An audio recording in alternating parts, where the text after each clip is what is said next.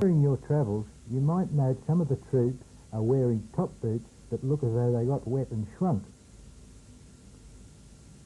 There have been nine pairs issued for evaluation purposes, and as can be seen in the video, they're a good deal shorter than the standard type we're used to. They are made by an Australian firm, Jenkins Footwear, and comply with the ASA 2210 for safety footwear. All leather uppers with a bonded nitrile rubber sole, incorporating a protective toe cap. Feedback will be brought to you as it becomes available.